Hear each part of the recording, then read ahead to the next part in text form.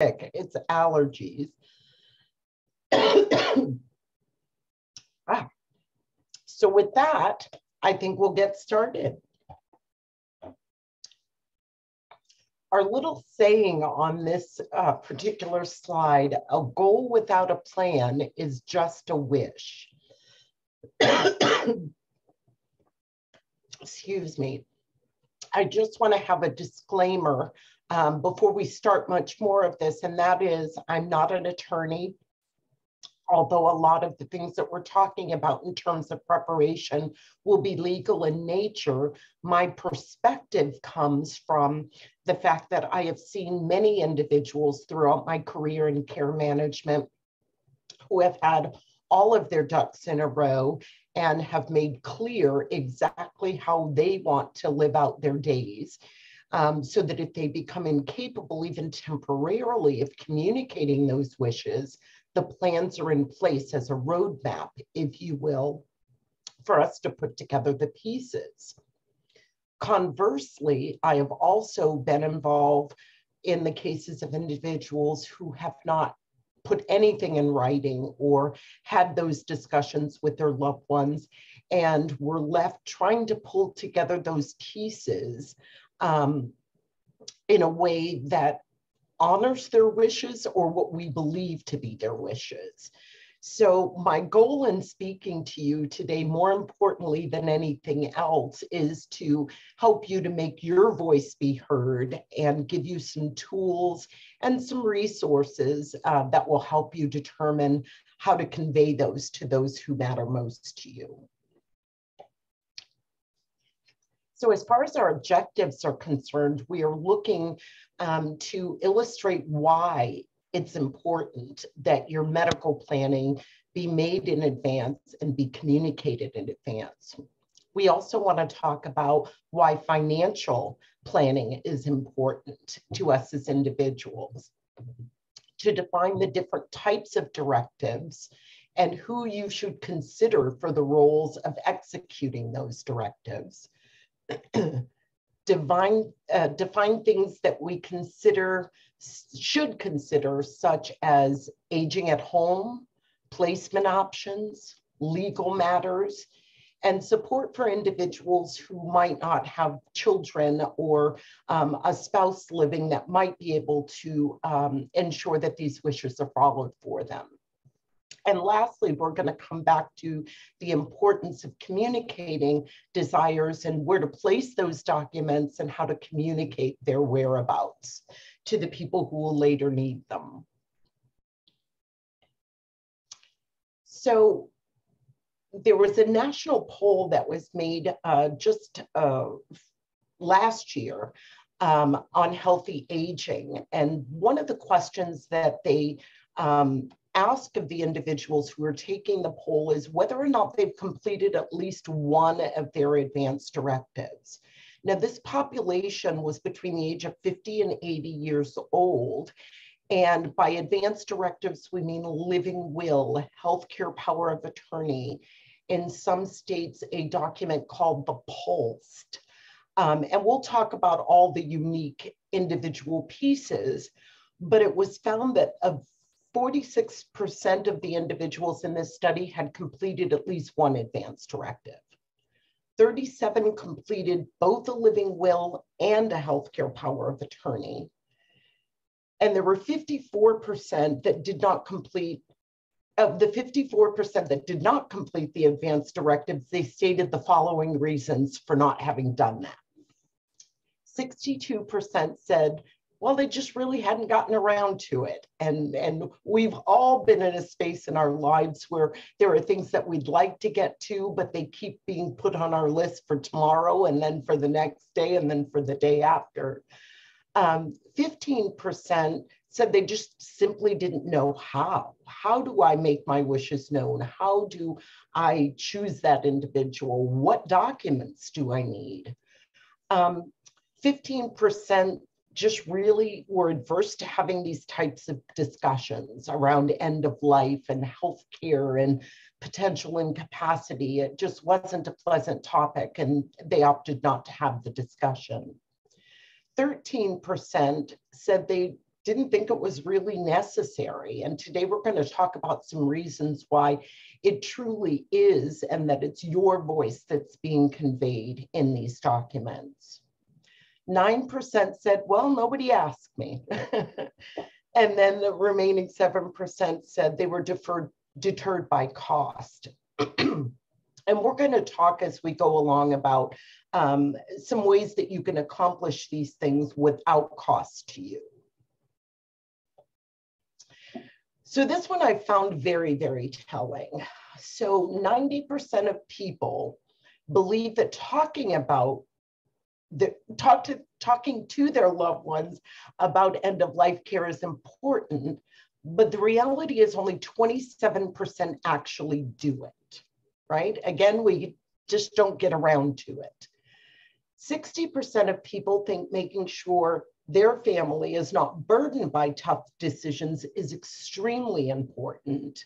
But 56% have not communicated their end of life wishes. 80% say that if they were seriously ill, they would want to talk to their doctor about end of life decisions, but sadly and unfortunately, really only 70, excuse me, 7% actually get to have this conversation. And there are a number of reasons for that that we can talk about as we go on. 82% of the population thinks that it's important to put their wishes in writing. In truth, only 23% have actually done so. So based on the statistics in this slide alone, I think it gives us a sense of how important we believe these things are versus how many opportunities that we take to actually execute them, do something about them, have those conversations. And so again, that's why this conversation today is so vitally important. So let's talk first about medical planning. Um, specifically, medical planning, most people in the industry think immediately of uh, medical power of attorney document. And I think that there are some inherent values in the medical power of attorney that I think many people don't consider until the situation has arisen where they haven't had it and they've been placed in a situation where someone else had to step in sort of on the fly to be able to make these decisions. So the first thing a medical power of attorney does for you is to ensure that somebody that you actually know and trust is in charge of your healthcare decisions. And the reason this is vital to this process is that we all know that there are strengths and weaknesses of the people we love and care about. I have two perfectly wonderful, able-bodied young ladies as my uh, as my children, who I'm very proud of. One very left brain, very deliberate, very organized. She's a rule follower. Um, and she's methodical in how she approaches things. She follows directions easily. My other daughter is fly by the seat of her pants, is not one who's prone to convention. she's going to look outside the box instead of inside of it. So I, who have very particular wishes about how my end of life or illness, even if temporary, be managed, is very well structured. And accordingly, I want someone who will follow a very um, a close set of guidelines in terms of how I want to manage that, right? So it provides provides permission for the designated individual to act on your behalf. So I think we've all heard a lot about HIPAA and the HIPAA privacy laws. And many of our medical institutions, albeit well intended, um, tend to hide behind HIPAA as a means not to communicate information to family members there is a little bit of an understanding I have because we have a very litigious society. And I think some providers are simply fearful if they put this information in the wrong hands, will there be litigation? But more importantly, it's because many of our healthcare experts don't understand that that HIPAA law is intended to protect us and our information. So we'll talk a little bit more about that as we go on. It avoids costly court proceedings. Um, I will tell you in the gosh, 25 years that I've been in this industry, it's been disheartening for me the number of times where no legal documents were put in place. No one was designated as power of attorney. There were no uh, instructions in terms of living will or how things should be managed. And in some cases, there wasn't anybody clear that should be designated in, in the decision making role. So, what ends up happening is there ends up being a huge court proceeding um, whereby the judge determines who it is that's going to make decisions for you. And oftentimes that individual is likely to be a stranger who does not necessarily know how you've lived your life, where you placed your values, what things were important to you as far as your autonomy and the like. So by putting this in place, you are making sure that at very least, your wishes are going to be honored without having a court process and a stranger become involved in your day to day life.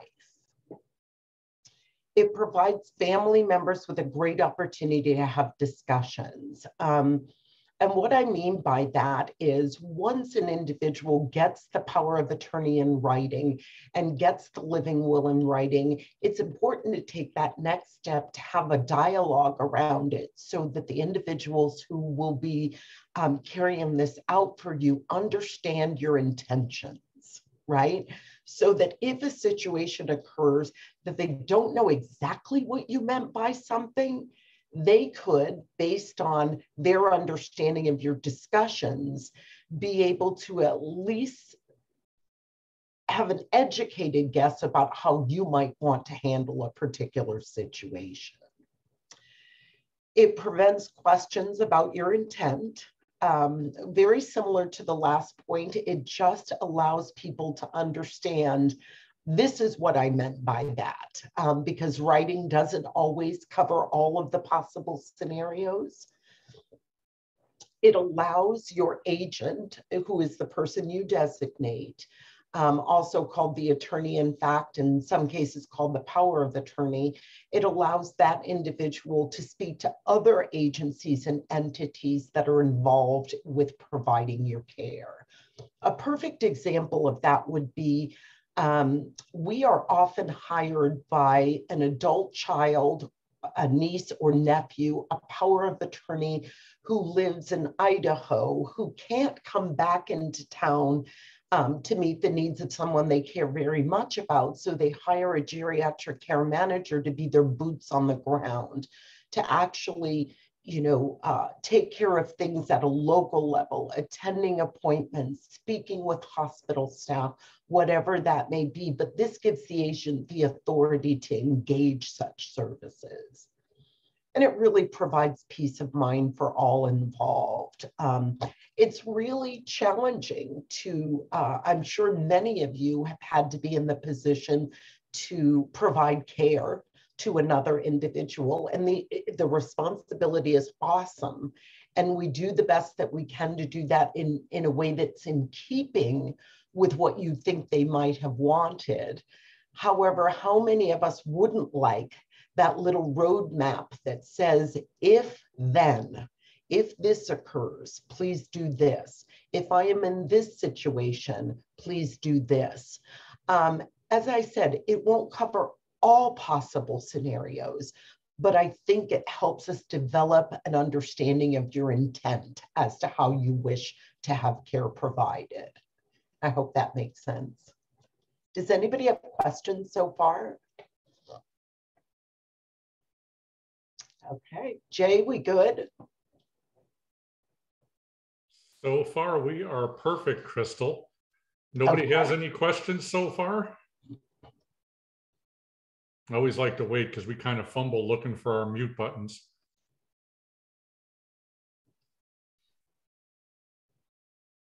No, no. You can just stop me if anybody um, does have a question. So I want to talk a little bit more about the healthcare power of attorney. And when we talked about the issue of being able, you know, individuals thinking this was an expensive process and that it would be too costly. In Arizona, the Attorney General's office has what they call the life care planning checklist. It has all of the documents that you see listed to your right, and I'm just going to move this so we can talk a little bit more about it. The life care planning checklist tells you all of the documents that you would need to consider. the healthcare power of attorney form is on there. You can either use uh, witnesses or a notary public for any of these documents. The healthcare power of attorney is who you designate and what authorities that you're going to give them in terms of providing for your care. The living will states how that medical treatment is provided and if there are circumstances under which you will not want heroic treatment. For example, if you were terminally ill, what would you like to do? If you stopped eating and drinking, would you want someone to be able to feed you artificially? Um, give you food and fluids artificially. It gets down to the more granular level of how you wish to have things taken care of on your behalf. The mental health care power of attorney is actually unique to Arizona. So if your documents were not created in Arizona, this is something that you will want to uh, discuss with your local attorney. The mental health power of attorney allows an individual who you designate to place you in a level one behavioral health facility if you need inpatient acute treatment for things such as severe depression, severe anxiety, um, any of the mental health issues that might require treatment in a controlled environment. Without that document in the state of Arizona, you would have to apply for legal guardianship over an individual to get them that much needed help. So it's really important part of your document. You just have to really make sure it's something you trust very much um, to take on this role. The pre-hospital medical directive, also called a DNR or a do not resuscitate or many people here call it the orange form because it is actually copied onto orange paper and is typically posted on your refrigerator.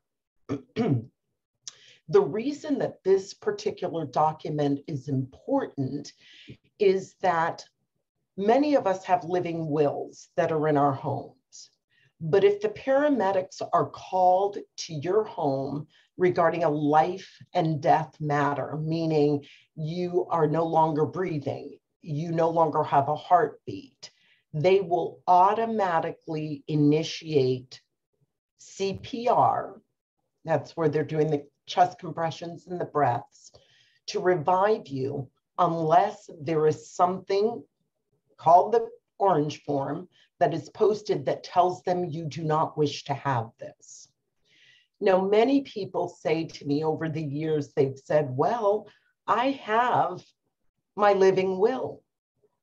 But as you might imagine, the, the uh, paramedics are not going to have time to find your living will and read through it. They're not going to know where it is. You may be alone in the home and not be able to direct them. So there needs to be something that they can see immediately that stands out to them that says this is an individual who would like not to be resuscitated. Now, absent this orange form in a clearly vis visible space, the paramedics will resuscitate you. And if that is your wish to be resuscitated, then that's absolutely fine. But if it is your wish that if your heart stops beating, and you stop breathing, that you not be resuscitated. You know, I personally only want to do it once. So if I'm gone, I say I'm gone. Um, but we all have opinions about that. There's no right or wrong. Um, so it's important that these documents be in place. And as I said, you can go right to the Attorney uh, General's website and it's a, a fillable packet so that you can actually do it on your computer or you can print it out um, and complete it legibly. Either way is fine. There is also a registry now, which used to be maintained by the Secretary of State's office. As of last year, um, those documents are actually now on a separate database. Um, and I'm going to move this so that you can see the information on where those documents can be registered. And I'm referring to this area right here. You can mail it to them, you can fax it to them, you can email it to them. Um, but that puts those documents for you in the registry so that if a loved one or a healthcare professional needs to access them, they can do so via that website. Are there, I know this was a lot to go through. Are there any questions on any of the things that we've just talked about?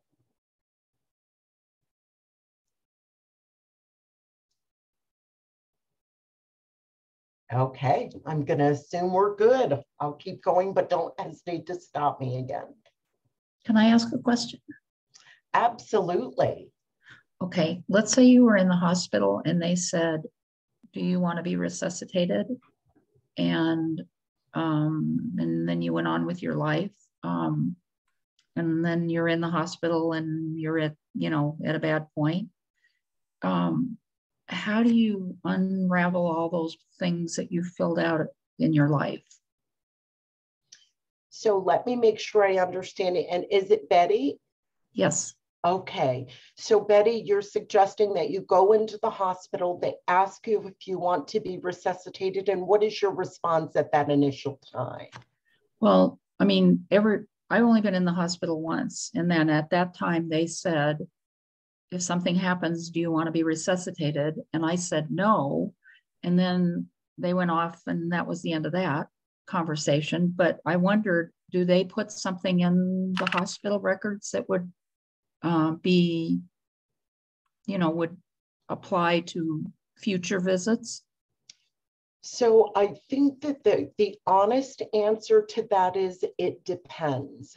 So there are some times where the doctor who's treating you for something particular and acute will say under this circumstance, under this hospitalization, she does not want to be resuscitated. I wish it was as easy as saying it only applies to that particular hospital stay because it really depends on the providers who are treating you at that time. So, my honest recommendation to you, Betty, would be to address it on your own behalf on each visit if your status has changed. Okay, good. Thank you. Yeah, we have to self advocate because unfortunately, otherwise, it's left to systems that are highly imperfect. So, um, yes, I would highly recommend that. And that's a really good question. Thanks. Crystal, we have a question in the chat box, and you've touched on this, but if you can go over it again, where do we get these documents? So um, this link that we have here is to the um, Arizona Attorney General's office. That's the azag.gov. And from that website, you can just click on the, um, the life care planning packet. It's thankfully, it's very, very well labeled.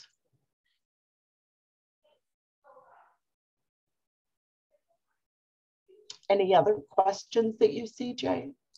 Nope, that's it for now. Thank you. Okay, great questions, everyone.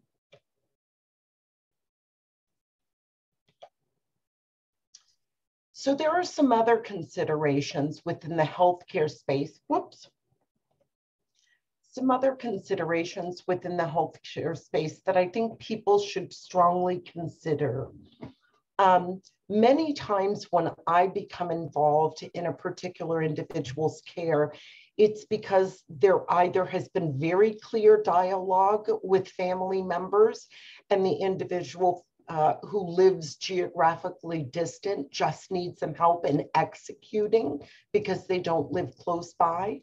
But there are also sometimes where I'm getting involved because the individual's family members don't really know what the possibilities are. And oops, is there another one in the chat?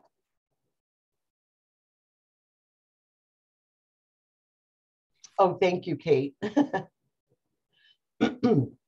so I just wanted to give you some things that all of us should be considering. The majority of the people I encounter, their first wish is to remain in their home setting. And my typical answer to that is it could be possible for absolutely anybody given the financial resources to be able to do so. Um, but I also want to consider if there is a particular agency that you prefer to work with. I have some people that have a specific hospice, for example, that they'd like to work with. That, you know, that's who took care of their husband or their wife or their daughter or their parent. And so they want to make clear that that needs to be done. But by the time this time comes, I'll be honest with you, a lot of the family members don't necessarily remember who that provider was.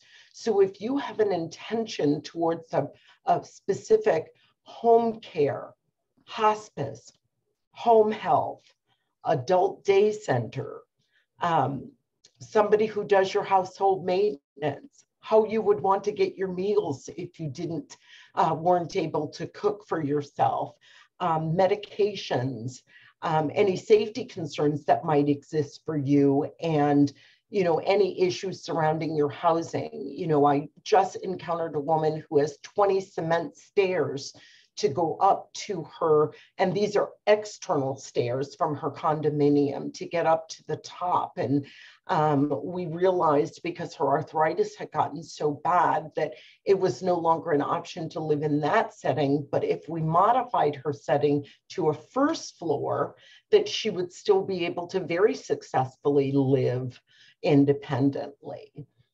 I did add two other things to the list that I think are important. One is if you have long-term care insurance, meaning insurance that is uh, designed to help you pay for the cost of care in later years, then it's very, very important that you have that information available documented to those that you care about. I personally have a long term care policy through John Hancock.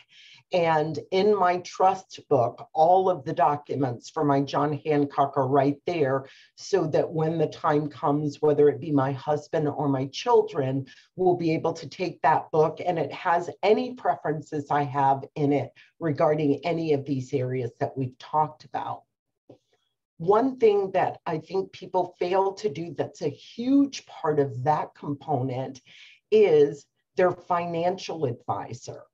The person who's going to know whether resources are going to make the things you want to do realistic and can do some cost forecasting to make sure that between your long term care insurance and the assets that you have, perhaps a sale from your home and downsizing, that you would be able to afford that. So our financial managers are really good at forecasting you know, for family members to help them decide, is this realistic for you if the day comes when you can no longer even temporarily speak on your own behalf?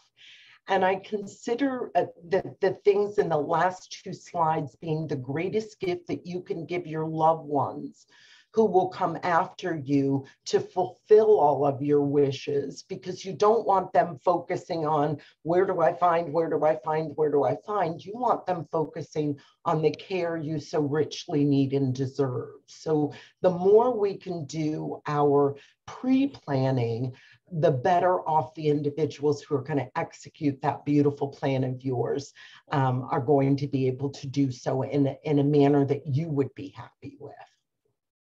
So let's go to the right-hand column and talk about if your plan is to move to a supportive setting.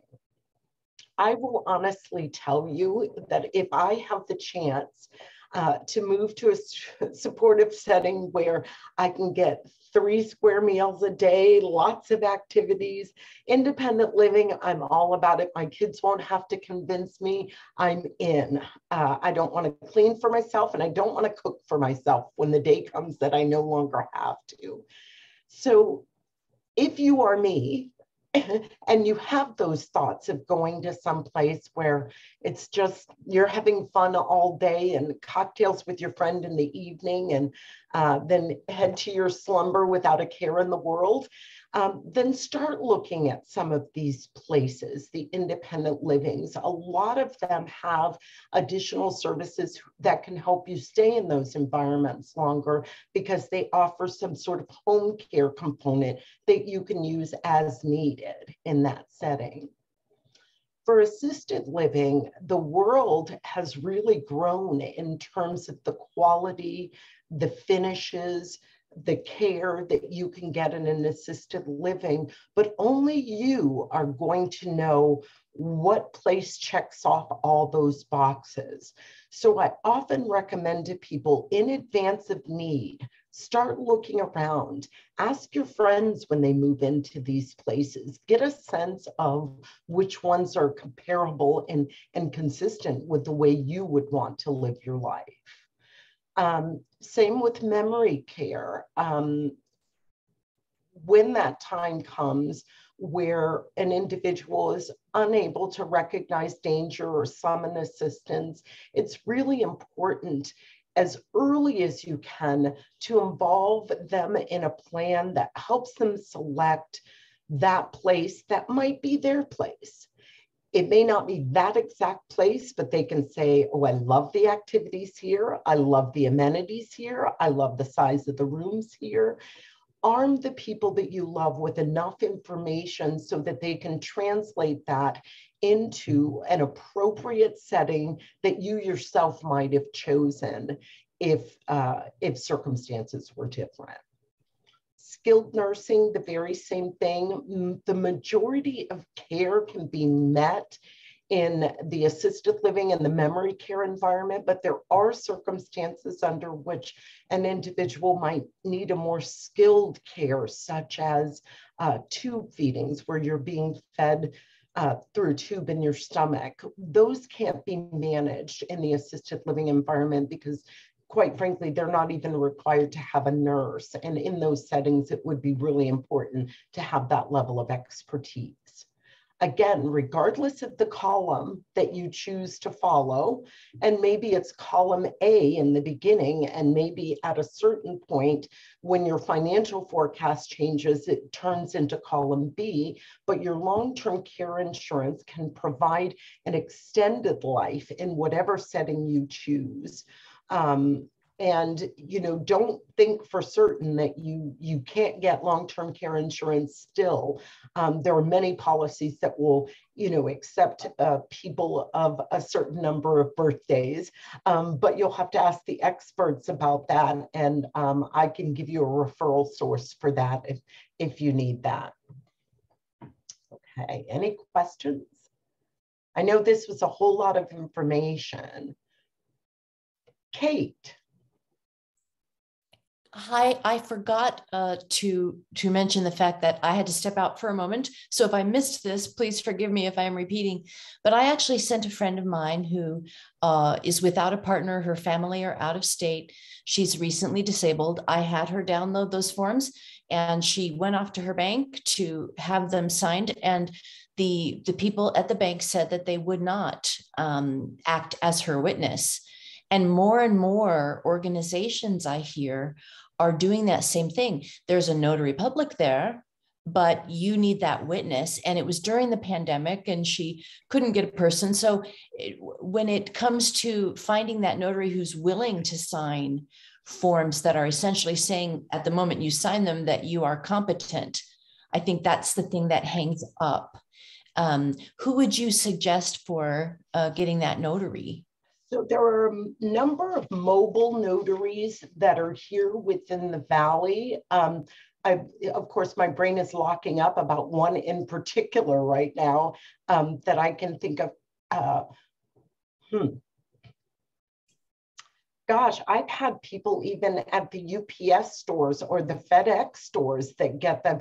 You know, you're not saying that this individual, you know, you're not answering a capacity question. You're asking whether or not this individual has knowledge of what they're signing and they're signing it of their free will. So I don't know if that's more bank policy that would get in the way, but I've never had any difficulty with anyone going to uh, UPS store, FedEx store. They all have notaries now. And I'd be surprised if you'd have any pushback there. Now, if somebody walks in who has questionable capacity, that's a whole different um, ball of wax. But in likelihood, they wouldn't be bringing these prepared documents into a notary's office. So, yeah, banks um, have gotten really, really careful on a number of issues. Uh, financial powers of attorney as well. They uh, require it to go through their legal department, and there's a whole lot. So I would likely avoid a bank as where I would go for um, notarization. I think it's their policy more than it is um, the actual act of notarizing. Okay, thank you. And it looks like we have a, um, a few more questions. How would I get a geriatric care manager? And are geriatric care managers similar to social workers? If so, in what way? Okay, now these are great questions. And if you can hold on, Jocelyn, for uh, one or two more slides, I think I'm going to get you there and answer that question. I okay. the next Thank one. you. You're welcome. Ah, here we go. You didn't have to wait long, Jocelyn. Okay. So resources um, for health care um, considerations. If an individual's remaining at home, very often um, it's going to be important to have some support around that decision to remain at home. And a geriatric care manager and or a fiduciary, and I'm going to explain the, the differences between the two here shortly. A geriatric care manager, consider them the person holding your healthcare roadmap, right? So the goal of the care manager is to coordinate your care, to make sure that you have all the right services in your home and to make sure as the need for services change, we're helping you to adapt and revise your plans in that home care setting to meet the changing needs. In addition to that, we are, when our clients, and I can only speak for Geriatric Resources, my company, um, because not every care management company does this. But if our clients go to the emergency room, we go with them and we stay with them until they're admitted or, dis- or discharged. And I'll tell you why that's an important factor to me. We are never at our best when we arrive in the emergency room, right? There's a reason that we landed there, correct? So typically we aren't feeling our best we can't necessarily answer the questions that they might be asking with the same clarity we might if we were feeling 100%. Um, we have a medication list, a list of diagnosis, a face sheet, all of the um, demographic information for our clients, as well as any legal documents that exist for them. So when we're arriving there, we have copies of their insurance cards you don't have to worry about anything because sometimes the paramedics don't even give you a chance to take your purse.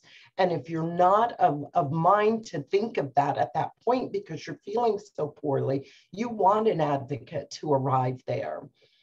I find that we also help process clients through the care they need a lot faster. And if you've ever been to the hospital and then you've gone and, and been admitted to the floor, it's like you drove across town to a whole different hospital. You're having to tell the same things again. The documents that you gave to the people downstairs uh, somehow have vanished into a vortex while you're on your way up the elevator. And so you're having to give that same report. Again, you're not feeling well. And so, you know, same with discharge planning to help you get clarity. Do you need a caregiver perhaps to come and stay with you for the first 24 hours? Have you been so physically depleted that you're at risk for falling, etc.? So there are many ways in which a care manager can act And Jocelyn, in answer to your question, it's like a social worker uh, meets a dog walker, meets a medical advocate. It's, it's, you know, to our clients, we're whatever they need us to be in order to live a healthy and constructive life on their own terms. Now, a fiduciary is more often than not assigned by the courts. And they would come in in those situations where individuals don't have a party that can be designated. And the courts may say this individual is now incapacitated and needs a guardian who will make decisions about their person and or a conservator who will make decisions about their finances or their assets. Now, an individual can also choose to hire a fiduciary in advance. So, say, for example, you don't have children, or your children live out of the state or out of the country and have children of their own, and they have um, jobs of their own, and they're just they just can't take on an additional responsibility. You can ask that a fiduciary become power of attorney for you, both on the healthcare side and the finance side. And you can do that well in advance and communicate to that individual, again, using your living will, your pre hospital medical directive, and any other documents that you would like to give them a roadmap as to how you wish to live your life if even temporarily you're unable to speak for yourself. Right? Again, your financial advisor is going to be a huge part of that because they're going to help to forecast how feasible the option of remaining in the home is.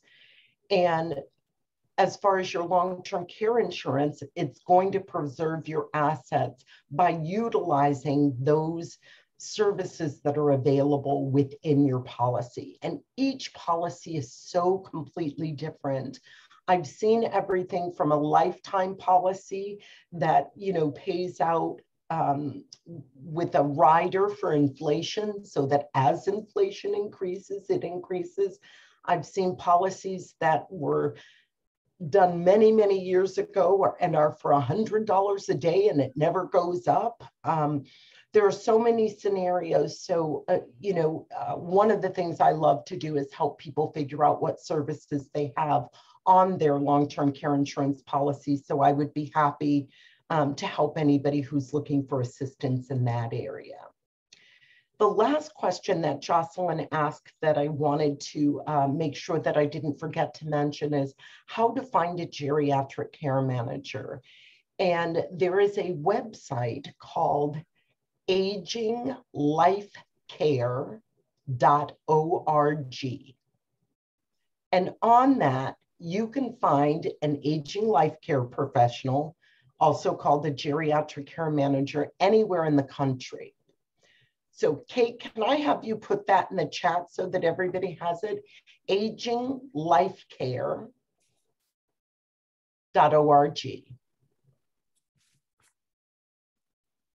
And again, you can find a, a, a care manager anywhere in the country using that site. Oops. So if an individual is going to move to a supportive setting, I think it's really important to um, have a placement agent um, that you trust that can help you sort of find your place. And placement agents um, are paid for by the facility you ultimately choose to move into. And so it's very important to look at um, which placement agency you use. There are some very trusted ones, and I'll share with you Benevilla Cares program and some of the providers that they have, um, because many of these resources are going to be right at your fingertips. So we'll talk about that towards the end but the placement agent can help you based on what geographic area you'd like to be in, coupled with what your budget is, coupled with what the finishes are, what size apartment you would like, what amenities you would like to see. And they can put that all together and narrow down the list because for many of us, we have there's no certificate of need required to build a healthcare facility in the state of Arizona. So you could be really pedaling uh, for a long time just to find that just right facility. And in the meantime, you may encounter a number of facilities that don't suit your needs at all, which results in some wasted time. So I think it's really important that uh, people team up with the placement agencies. And again, I'll help you find those. Um, that's the you are not alone part. We're, we're almost there. um, a real estate agent. I think it's important to, you know, call on your friends and your family members who have had good experience with realtors. Um, we have one we use because he's like Mr. One Stop Shop and he takes care of everything. We've had families that didn't even have to come into state to help uh, have him help them uh, with that process. So again, the more you can think about, the better. I think a really important, and this should have probably been in both uh, areas, not probably, it should have been estate planning, really sitting down with an attorney and talking about what would be important um, for you to be able to keep your assets from having to go through probate and some of the other things we'll talk about coming up here really quick. And movers. I am a stickler for people taking good care of my belongings. And so a referral to a mover uh, is worth its weight in gold to me. So again, ask those people around you. And um, once you've decided on, you know, the, the resources that you like, really start to compile that list for those that you care about and who will end up executing your plans in the long run. So, financial planning.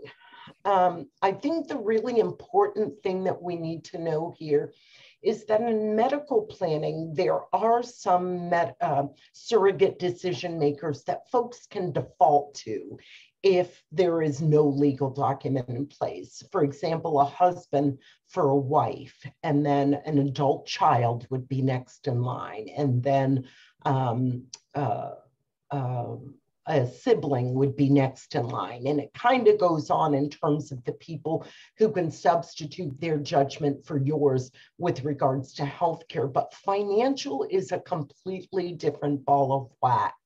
There is no default authority, there is no sur surrogate decision making. It is either in place that you have a power of attorney or it is not in place that you have a power of attorney in this situation, a very extensive and lengthy legal process is likely in your future if there isn't something, which may include probate. So some people say, well, I have my daughter on my account. And for most people, that works out to be a fine arrangement. And again, I'm going to preface this by saying I'm not a lawyer. I am speaking from what I have seen over the years.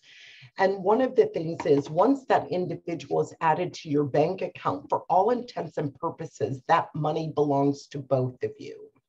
So if there is an unfortunate situation where one of the people you put in your on your account ends up involved in a bankruptcy, then you've also now dragged yourself into that bankruptcy or at least a portion of the funds that are in that account.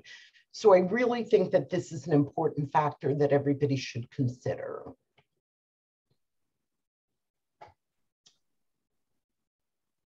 Okay. In 2011, after browbeating my husband for months, I finally was able to convince him of the wisdom of having a trust. In fact, I convinced him of the wisdom of talking about any of this. My husband was one of those individuals that said, Why do we have to talk about this? It's morbid, it's awful. You know, why do we have to do this? Things will just take care of themselves. And I finally got through to him when I said to him, Our children, you know, we travel together pretty much every time we go on vacation, every time we get in a plane, every time we get in a car. and we travel together. And what would we leave for our children to have to sort through? Would it be probate, trying to find all our accounts, um, trying to find out our vehicles are titled? You know, have any of you ever tried to change any information on your cable and your the spouse of the individual who has cable? I mean, just something as simple as changing the cable, if you're not the one whose name is on the account, can be overwhelming and difficult. So I say to people, the more planning that we can do, the more we can put in place for ourselves and the individuals who follow us. Now, every vehicle we purchase is titled in the name of our trust. Every bank account is titled in the name of our trust. The trust is our beneficiary. Um, the trust acts as its own individual entity, right? So there are significant benefits that trust is actually a separate entity from us. And if you haven't talked to an attorney about the possibility of creating a trust, I highly recommend that this is a good step for you. Um, my trust happens to include the power of attorney, the living will for both of us, our trust, our last will and testament. Um, all of those things are, are included, but also included are instructions as to how our trust is to be administered. What happens when one of us passes away? What happens when the second one passes away? Who takes over and what are their instructions as to where to find everything and how to to work it. So if you haven't thought about creating a trust, I think it's a very good idea um, to look into it. There are elder law attorneys, uh, one in particular that we'll talk about here that is part of the Benevilla's Care Program. So here's the you are not alone part. So I happen to be um, a CARES partner. CARES is a resource um, uh, community. Why couldn't I find the word? Sorry. It's a resource community for individuals to be able to come and find a one-stop shop for the for the services that are most needed by their constituents. So if you go to the benevilla.org uh, website and you go to the CARES program, the community resources, you would see a screen that looks much like the one in front of us. As you can see, the categories assisted living, independent living, fiduciary services, geriatric care management, home care, hospice, legal, senior placements, skilled nursing facilities, and memory care communities. So many of the things that we talked about that would be in consideration for you have already been vetted by the folks at Benevilla and have them on their website. Uh, Laura Johnson happens to specifically be an estate planning attorney. Um, and I, I, feel comfortable in telling you that she did my estate documents and, and those of many of our clients.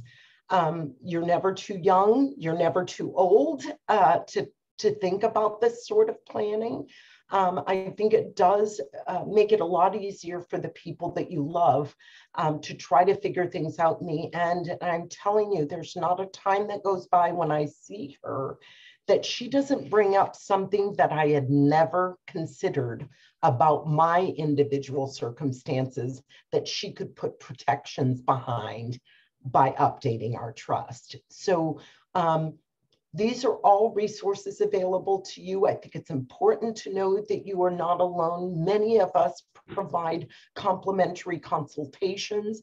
You know, if it's if it's just a referral that we can make to you, we're more than happy to do that.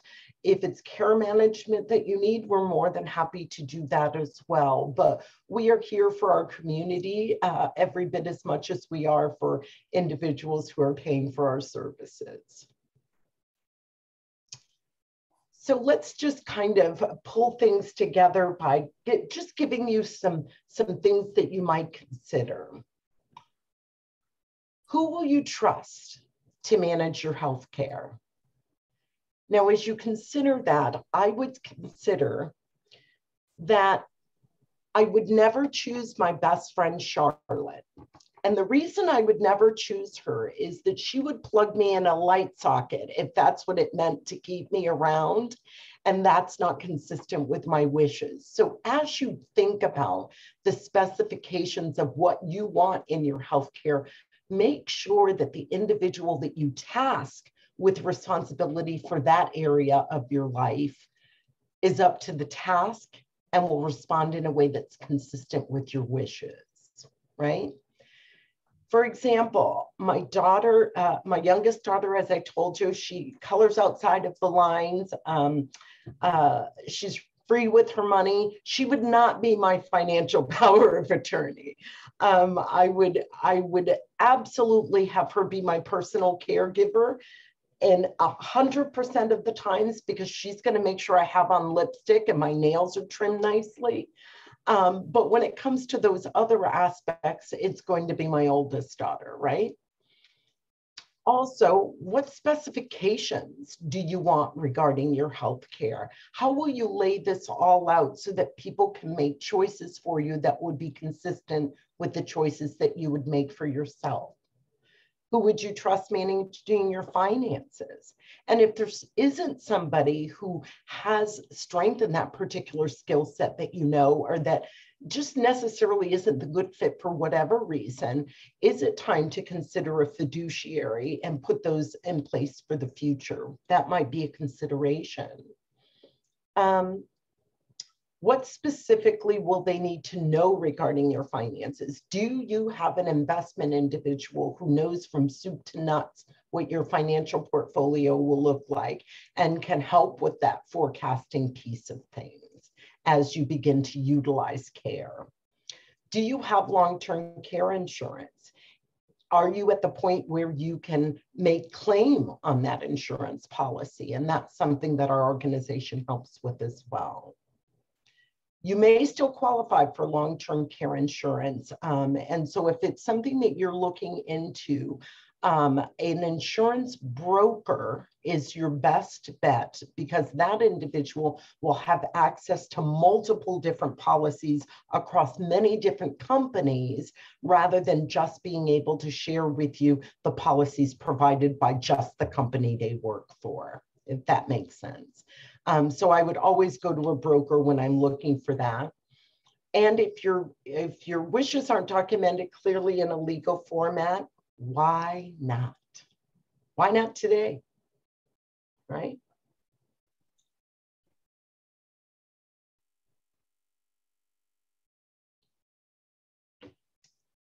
Any questions?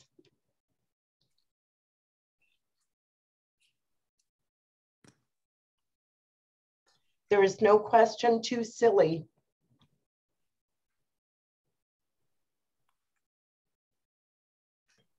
You know what? I'm going to break the ice here, Crystal.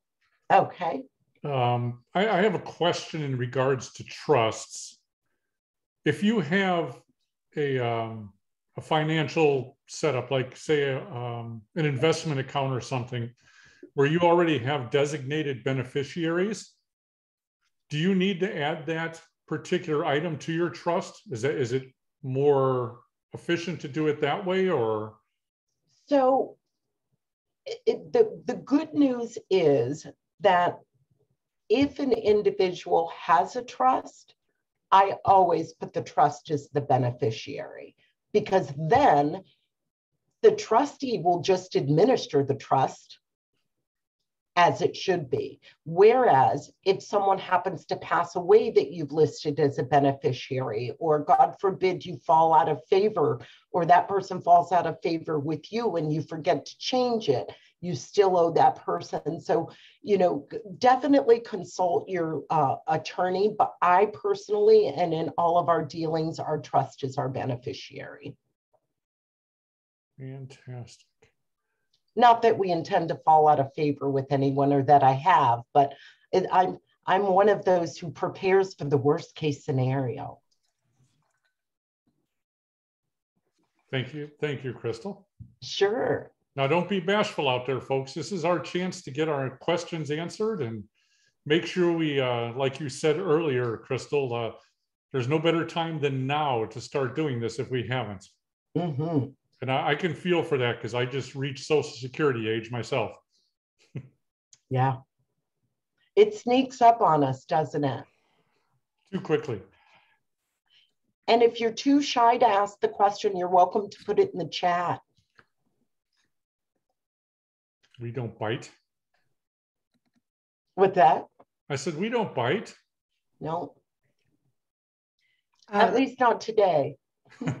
I, I guess my question is, um, um, I am facilitating a, a support group.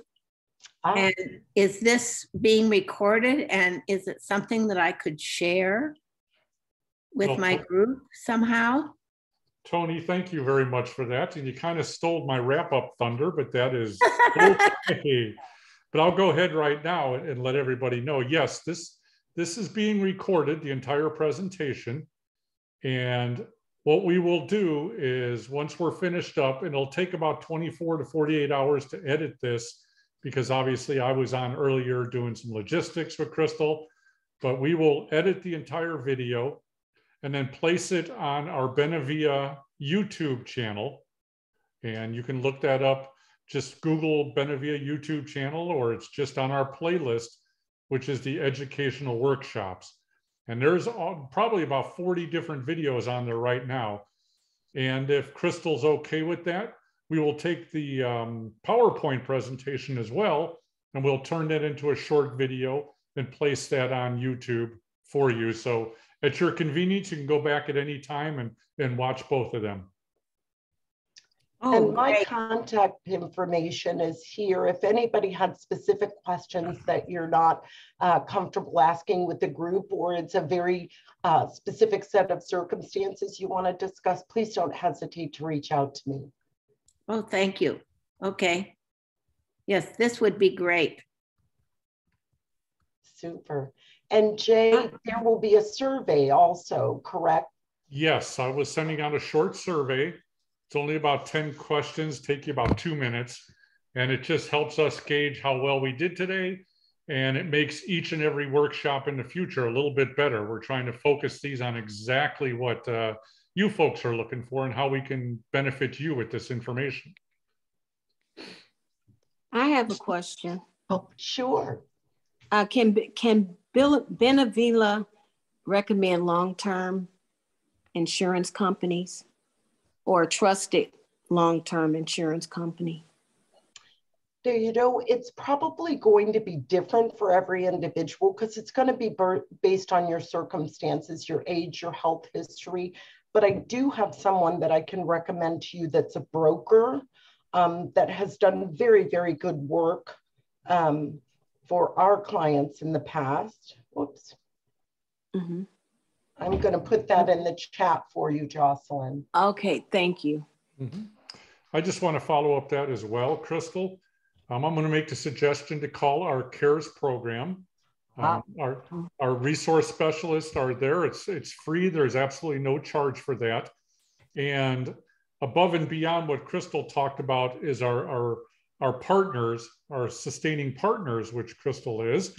Um, these are folks that have been vetted, we've worked with for a long time. They're amazing, as you can tell by Crystal's presentation today. They're amazing people. Uh, their heart is only with the people that they can help. So, you know, we completely appreciate that. But if it's something we don't work directly with our partners with, and something like insurance, um, we do have about a thousand other resources we work with locally that folks have questions maybe about real estate or maybe about you know just something as simple as um, a handyman service or something like that our cares people deal with them every day so uh, just Mhm. give them a shout at our main number and they'll be the folks to be able to direct you in the right uh, right area Oh, okay, thank you. Just an FYI, I have uh, used the CARES uh, resources and been very happy with what I have found. Oh, that's very nice. well thank you Oh, tony good. we Oh, appreciate good. that endorsement I, I that's a, that is our plan. You know, our, our mission at Benevilla is to keep everybody independent at home as long as possible. Mm-hmm. And we hear something like that, it makes us realize, you know, we're doing the right thing. So thank you. Amen. Betty, were you going to say something? I had a question. Sure. Um, I, what I wonder about is for the people that maybe don't have children, don't have the obvious Mm-hmm. um, choices for these forms. Um, going to an attorney, they don't seem really, uh, they want to just plug in the information in a format. Um, so where, where, what would be a kind of a, a first step, second step of putting your plan together? Would it be coming to someone like you to figure out the plan that you're going to ask the attorney to um, implement or, you know, uh, advise you on? Right. Or where, who would that be? So for me, I feel the estate planning attorneys, if you're going to a good one, they are going to prompt you in the areas that you need to, to ask Mhm. questions or have answers. Um, so, and most of them do give a complimentary consultation to just kind of get a sense of what direction you need to go and to help you um, in that endeavor.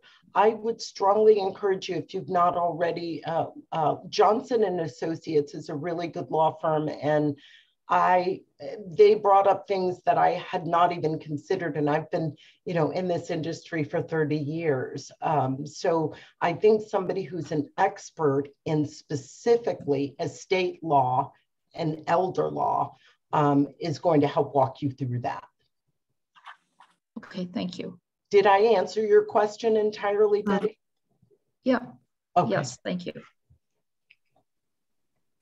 These are great questions. Keep them coming. Where is the website um, where we can get the forms, like the, the living will and the um, durable power of attorney? So those are on the Attorney uh, General's website. The A, uh, so AZ as in Arizona, AG is an Attorney General. Okay. Yeah. That's dot org or dot com? Let me go Dot back. gov. Whoops.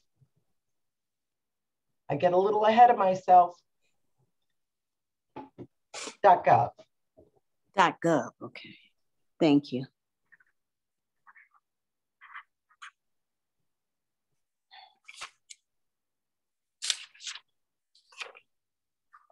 All right. Do we have any other questions?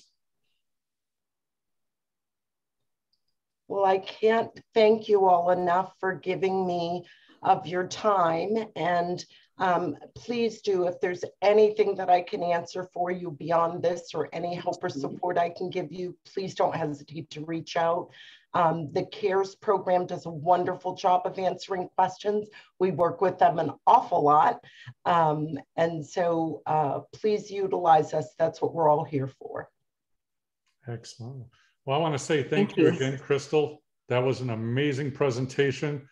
Um, just bullet pointed and easy to follow. I think uh, I think we touched a lot of people today with the information that they needed. So thank you so much, and thanks for being a, a partner with us at Benevilla. We appreciate that. It's an honor. Um, once again, I just want to let everybody know that we will have this as a video on our YouTube channel. And uh, we'll also have the PowerPoint presentation. So I'll be posting that out. So look for an email, just like you've been getting with the link to this presentation from me in the next day or so. We'll get that out to you. And if you could be kind enough to send us a, you know, take a couple minutes and do the little survey. It's very easy to follow. It's just clicking through. We try to make it as simple as possible. So we do these once or twice a month throughout the year. And hopefully someday in our future, we'll get to do them again in three dimensions where we're all in person rather than on a, on a, a video screen. But um, our next pre, uh, educational workshop coming up will be March 30th at 1.30. And the title of that particular workshop is Threats to Your Family's Financial Future. So they're going to be talking about estate planning and VA planning and will planning, all the nuts and bolts from a financial aspect. So uh, I think that goes very well and hand in hand with what Crystal talked about today. So amazing. So hopefully we'll see you then. The signups are on benevilla.org, our website. If you have any questions or you don't know where to turn, or if you're just looking for Crystal's number again, uh, looking for a hand, just give us a shout.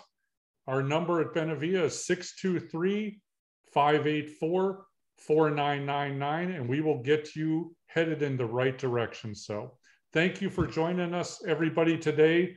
Crystal, thank you. And Kate, thank you for being in the background with us and supporting our presentation today. We hope to see you all soon.